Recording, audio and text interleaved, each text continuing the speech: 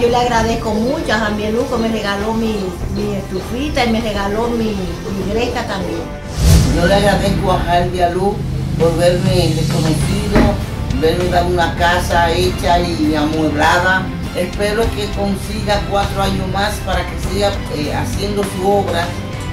El senador que me ayudó a conseguir mi lavadora que yo necesitaba. Gracias a él. James Bieluf Cabrera, su senador, con su pueblo.